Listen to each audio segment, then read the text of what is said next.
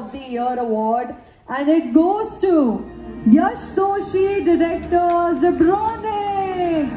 Congratulations to Jayasha. Come on, please come forward. Everybody, can we have a huge applause for all our achievers, all our winners tonight. Thank you so much. Our next And let's see who the winner is going to be. The youngest rising star of the year goes to Meet Witch, co-founder Line by you and I. Let's welcome Meet Witch with a huge round of applause, please.